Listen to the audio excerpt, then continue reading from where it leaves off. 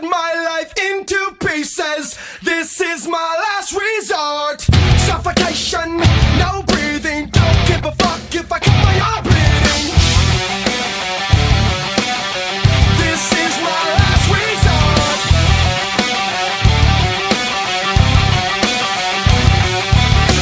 Cut my life into pieces. I reach my last resort. Suffocation, no give a fuck if I cut my arm bleeding.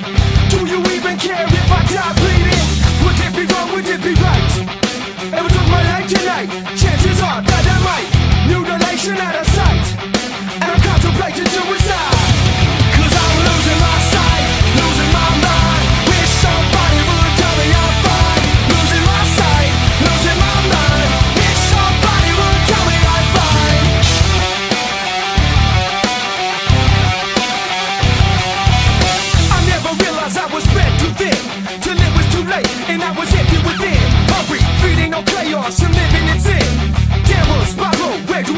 yeah. It all started when I lost my mother.